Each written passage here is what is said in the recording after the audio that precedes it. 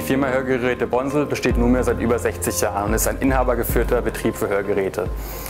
Wir bieten in über 20 Filialen alle Leistungen zum Thema Hörakustik an. Die Firma beschäftigt derzeit 120 Mitarbeiter, aufgeteilt auf die verschiedenen Filialen sowie die Verwaltung. Telecare bietet uns die Möglichkeit, auch mal vom klassischen Anpassweg abzuweichen. Gerade für bestimmte Kundengruppierungen, wie zum Beispiel privat oder beruflich eingeschränkte Personen, wie auch mobil eingeschränkte Personen, kann man denen in der Anpassung eine Erleichterung schaffen und auch in der Nachbetreuung, die genauso wichtig ist.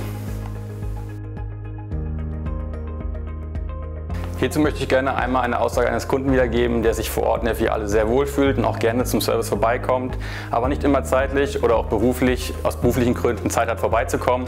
Er findet, dass der Mix aus Offline- und Online-Betreuung die optimale Lösung für ihn ist.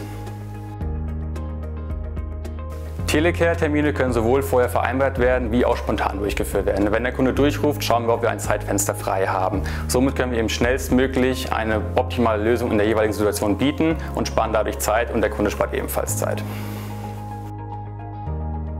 In der Hörakustik sollte man in regelmäßigen Abständen die klassische Anpassung überdenken. Gerade die letzten Monate haben gezeigt, wie schnell sich Bedürfnisse ändern können. Telecare bietet uns die Möglichkeit, kontaktlos, zeitsparend und arbeitsplatzunabhängig Hörsysteme anzupassen. Das hilft uns, Ressourcen zu sparen und die Zufriedenheit des Kunden zu erhöhen. Gerade in der Branche der Hörakustik sind viele mit Neuerungen erstmal sehr vorsichtig. Klappt es am Kunden? Schaffe ich das selber in der Anpassung? Meine Erfahrungen sind, es einfach mal dem Kunden anzubieten und auch einfach durchzuführen. Denn die Kunden möchten gerne helfen und sind auch bereit, neue Methoden auszuprobieren. Also mein Tipp, einfach ausprobieren.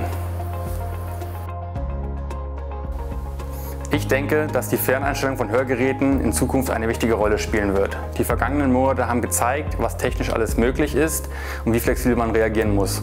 Trotzdem brauchen wir für eine erfolgreiche Anpassung einen Ansprechpartner in der Filiale. Ich persönlich denke, dass die Abstimmung offline in der Filiale sowie online außerhalb eine optimale Möglichkeit für den Kunden bietet.